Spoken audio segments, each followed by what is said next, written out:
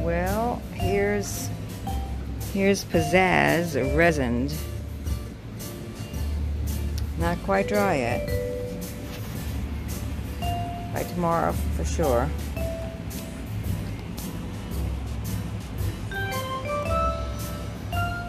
I don't know if you can see the shine on that. But it's once oh yeah, there you go. Now you can see the shine with the light. Yeah, you can see the sun shine pretty good. So the piece has been resined.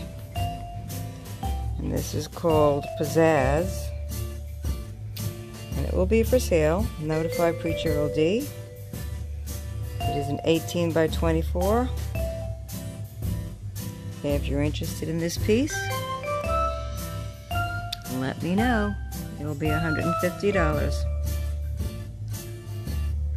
That's Preacher LD at AOL.com.